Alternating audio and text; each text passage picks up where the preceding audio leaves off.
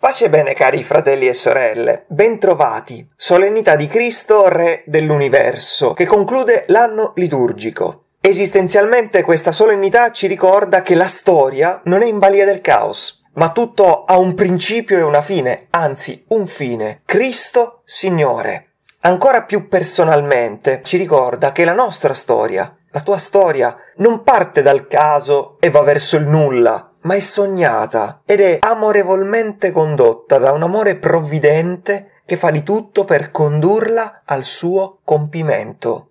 Il Vangelo di questa domenica ci consegna la conclusione del discorso escatologico di Gesù, con le parole sul giudizio universale, dal quale vogliamo cogliere due spunti. Primo, l'umanità su cosa sarà giudicata? Secondo, il Signore Gesù, che un giorno incontreremo come nostro giudice misericordioso, Ora, dov'è che lo incontriamo?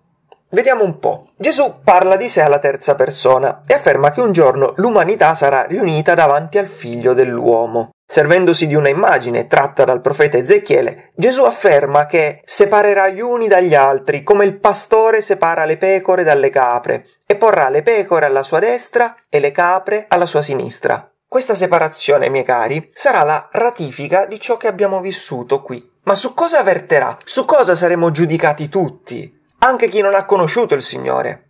A quelli alla sua destra dirà Venite, benedetti dal Padre mio, ricevete il regno preparato per voi sin dalla fondazione del mondo. Perché ho avuto fame e mi avete dato da mangiare, ho avuto sete e mi avete dato da bere, ero straniero e mi avete accolto, nudo e mi avete vestito, malato e mi avete visitato, ero in carcere e siete venuti a trovarmi.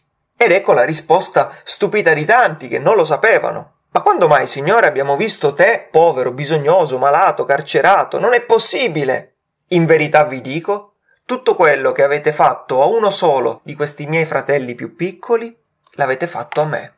Di contro, quelli che verranno posti alla sinistra sono quelli che ho avuto fame, non mi avete dato da mangiare, ho avuto sete, non mi avete dato da bere, insomma, ero bisognoso e non mi avete aiutato. Dunque, miei cari, il giudizio per tutti su cosa verterà? Sulla carità, sull'amore dato o negato ai bisognosi, non su un vago sentimento. Saremo giudicati sulle opere, sulla compassione che si fa aiuto concreto al bisognoso. E qui, miei cari, non stiamo parlando di gesti sporadici fatti magari per acquietare la coscienza, ma di uno stile di vita vissuto da chi ha saputo riconoscere nel bisognoso il volto di un fratello, di una sorella. Dunque si è prodigato per dare da mangiare, da bere, per aiutare chi è povero, spendere tempo per stare con chi è solo, prendersi cura dell'ammalato, andare a trovare il carcerato. E l'ha fatto semplicemente per amore. Qui noi stiamo parlando di opere alla portata di tutti. E per farle non c'è da essere cristiani, ma lasciatemelo dire, c'è da essere umani. C'è da lasciarsi interpellare dalla sofferenza dell'altro facendomi suo prossimo. In questo senso il bisogno e la sofferenza dell'altro sono una chiamata per me, una chiamata ad uscire da me e a donarmi di più. Molto bella a tal proposito una testimonianza raccontata da Madre Teresa. Una notte un uomo è arrivato alla casa delle suore e mi ha detto c'è una famiglia con otto bambini, non mangiano da giorni. Ho preso un po' di cibo e mi sono incamminata. Quando sono giunta da loro ho visto i volti di quei piccoli segnati dalla fame. I loro visi non esprimevano dolore o tristezza, solo la profonda sofferenza causata dal digiuno.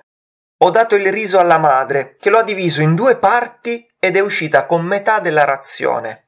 Al ritorno le ho chiesto dove sei andata. Mi ha dato una risposta molto semplice. Dai miei vicini. Anche loro hanno fame. Il suo altruismo non mi ha sorpresa. I poveri sono molto generosi. Mi ha stupito invece che sapesse dei suoi vicini. Di solito quando soffriamo siamo infatti così concentrati su noi stessi che non abbiamo tempo per gli altri.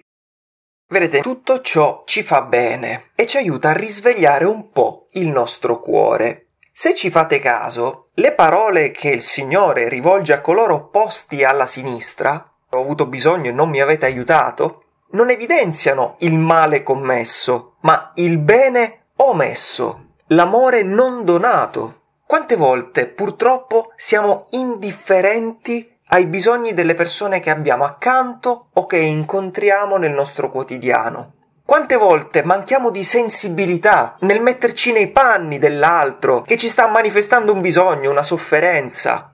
Peggio che peggio, quante volte ci rinchiudiamo nel nostro egoismo troppo presi dai nostri bisogni e poco attenti ai bisogni degli altri, troppo presi dai nostri problemi e poco attenti alle sofferenze degli altri.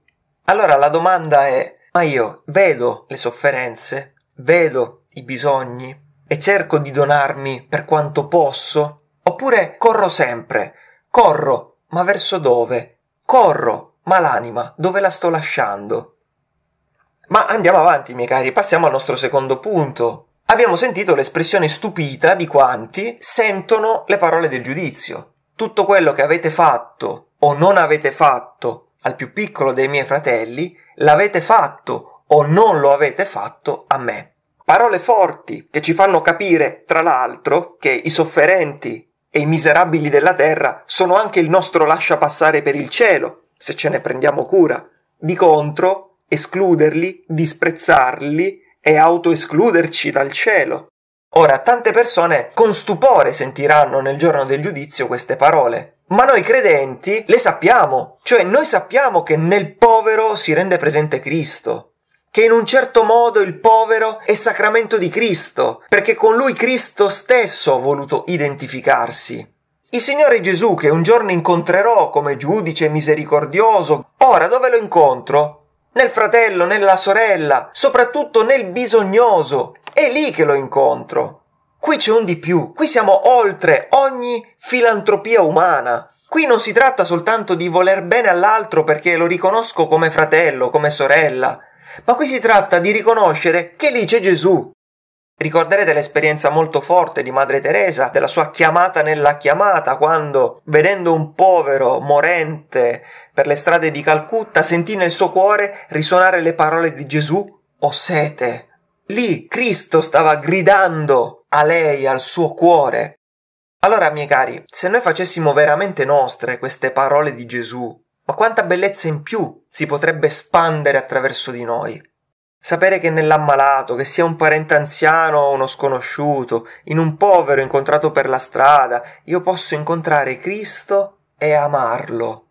Attenti, miei cari, queste parole non tolgono la fatica che comportano certe situazioni, il prendersi cura di un ammalato giorno dopo giorno, servire i poveri, che sono poveri in tutte le loro dimensioni e tante volte non sono facili da gestire, avere un cuore aperto verso tutti, accogliere con stima un immigrato, riconoscere il volto di Cristo in un carcerato che anche ha sbagliato nella sua vita. Ma queste parole illuminano questa fatica benedetta, rinnovano in noi la gioia e la forza di amare, e di amare per amore di Dio e con il suo amore in noi.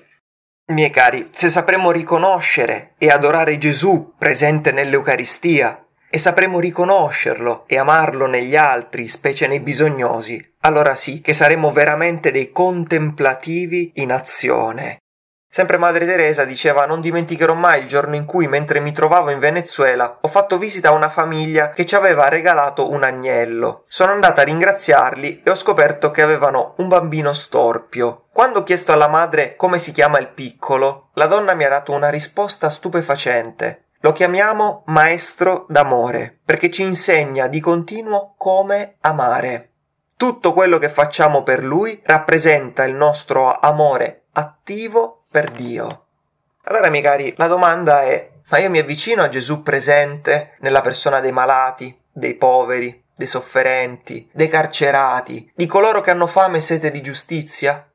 Cari fratelli e sorelle, davanti a queste parole del Signore siamo dunque chiamati ad aprire il cuore all'amore fattivo, concreto, reale e chiedere la grazia di poterlo incarnare, perché un giorno, presentandoci davanti a Lui, possiamo sentirci dire Vieni, benedetto dal Padre mio, vieni, benedetta dal Padre mio, perché avevo bisogno e tu mi hai aiutato.